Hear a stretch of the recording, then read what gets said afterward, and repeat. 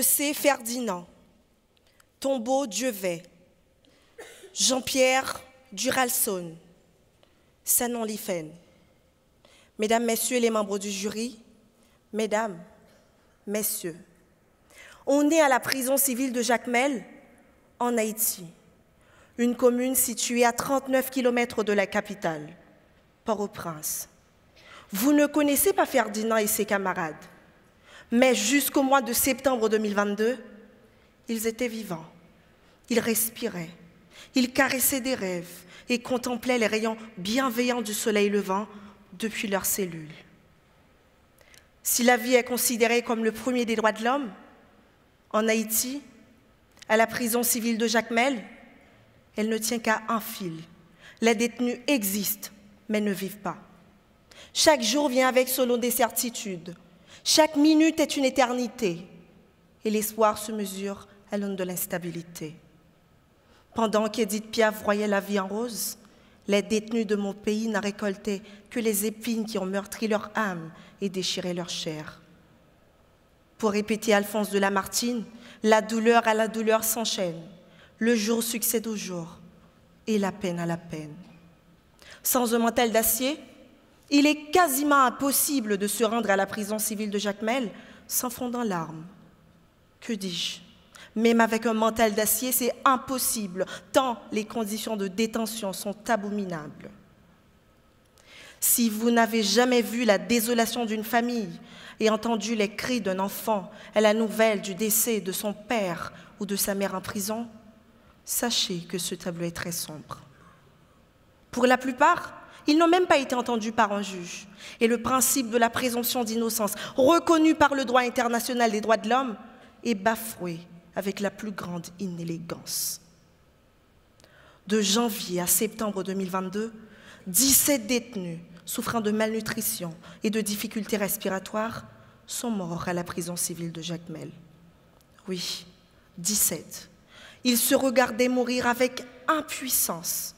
Pourtant, L'article 19 de la Constitution haïtienne dispose que l'État a l'impérieuse obligation de garantir le droit à la vie conformément à la Déclaration universelle des droits de l'homme. Force est de constater le décès répété des détenus sous le regard complice des autorités publiques.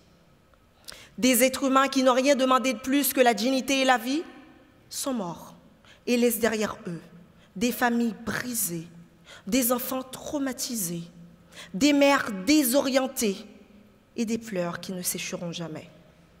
Comme l'a si bien dit Victor Hugo dans le dernier jour d'un condamné, qu'est-ce que la douleur physique près de la douleur morale? Quelle inhumanité Des personnes incarcérées meurent de faim, de soif et d'absence de soins. Les faibles interventions des citoyens, souvent à la demande des agents pénitentiaires, n'arrivent pas à combler les immenses carences de l'État en ce sens. Les agents pénitentiaires utilisent certaines fois le véhicule de la prison civile de Jacmel pour recueillir des vivres alimentaires provenant des plantations de particuliers afin de préparer à manger aux détenus. Ces mêmes agents ont lancé un SOS au secteur privé des affaires en Haïti et à la société civile en vue de sauver les détenus.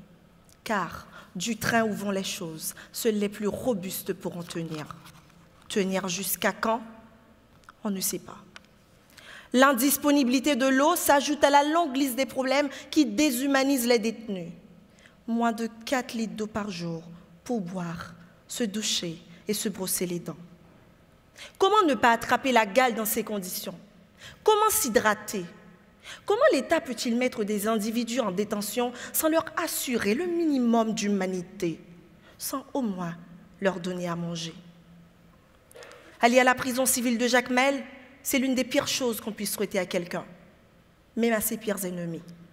C'est le lieu des oubliés, des maltraités, des torturés et des désespérés. C'est l'endroit où les détenus apprennent à philosopher sur la souffrance, tant elle devient un mode de vie. À force de côtoyer l'indifférence, elle finit par les habiter, à définir ce qu'ils sont ou ce qu'ils pensent être. Je pense encore à ces mots empreints de dégoût prononcés par une ancienne détenue quelques heures après sa libération. Tous les jours, je me demandais si j'étais encore un être humain. L'État haïtien a oublié qu'on ne torture pas, encore moins sans prison. on punit, et bien sûr, la peine ne supprime pas le respect des droits humains. On peut punir sans déshumaniser, on peut punir sans humilier, on peut punir sans enlever la dignité. Oui, on peut.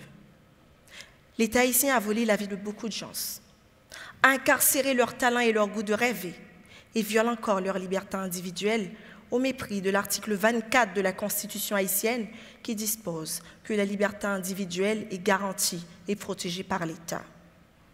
À l'évidence, nous avons un État en faillite, un système judiciaire défaillant, ruiné par la corruption, quasiment dysfonctionnel.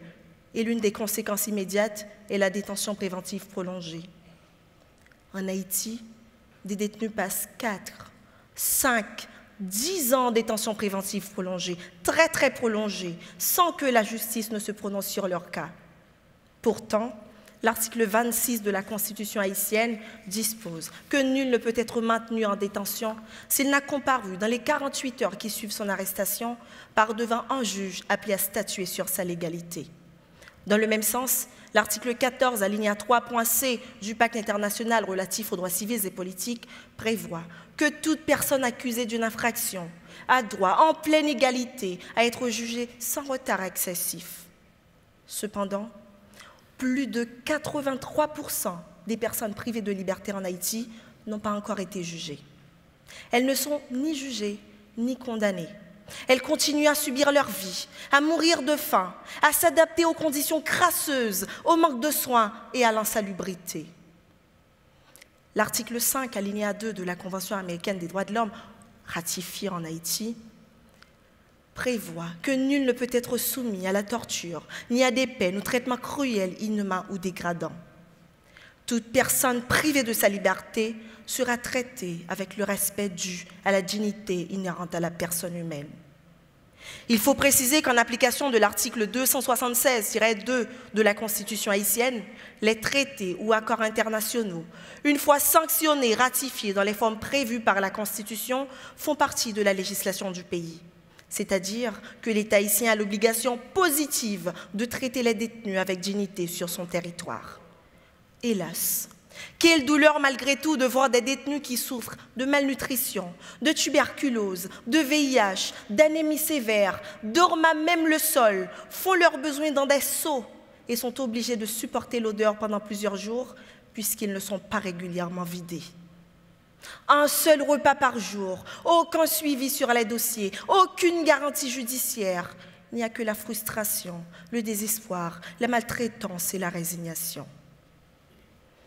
Dans les arrêts Yvon Neptune contre Haïti du 6 mai 2008 et Fleury et Haute contre Haïti du 23 novembre 2011, l'État haïtien a été condamné par la Cour interaméricaine des droits de l'homme pour des traitements inhumains infligés aux détenus. En dépit de cela, il continue à banaliser la dignité et à bien prendre soin de son cynisme.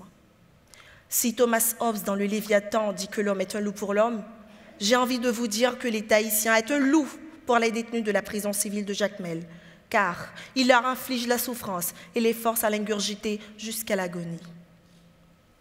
La prison civile de Jacmel, construite pour héberger 100 à 120 détenus, est aujourd'hui la scène sur laquelle environ 700 détenus, jour au jour le jour, un mauvais film, un film macabre et inoubliable. Environ 700 détenus, y compris des femmes et des mineurs, en insécurité alimentaire et entassés comme des sardines.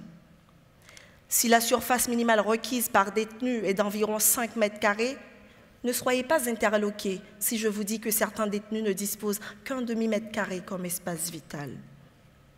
La prison civile de Jacmel est saturée et les conditions de détention ne riment pas au principe du droit international des droits de l'homme, ni aux règles minimales des Nations Unies pour le traitement des détenus, dites règles Nelson Mandela.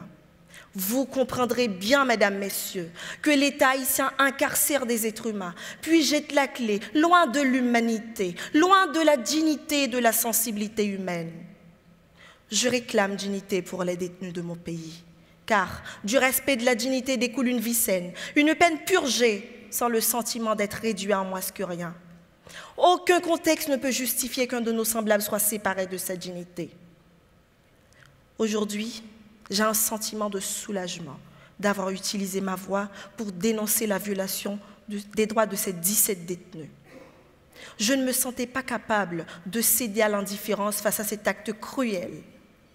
Comme le disait Aimé Césaire, ma bouche sera la bouche des malheurs qui n'ont point de bouche, ma voix, la liberté de celle qui s'affaisse sous cachot du désespoir. L'histoire retiendra que j'étais venu jusqu'ici pour dénoncer l'injustice, l'inhumanité, la maltraitance, la mauvaise gouvernance et l'irrespect de l'état de droit. Je terminerai en vous disant ceci.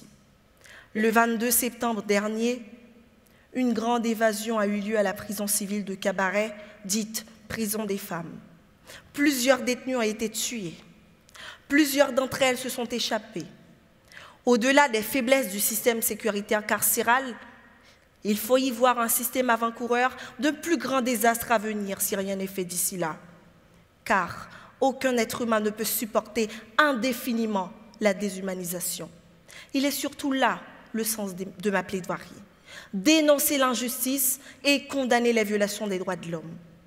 Soyons tous, sans exception, des avocats de l'humanité. Condamnons l'inhumanité comme le disait maître Bertrand Perrier, si aujourd'hui on ne condamne pas les fleurs du mal, demain on aura les fleurs du pire. Je vous en remercie.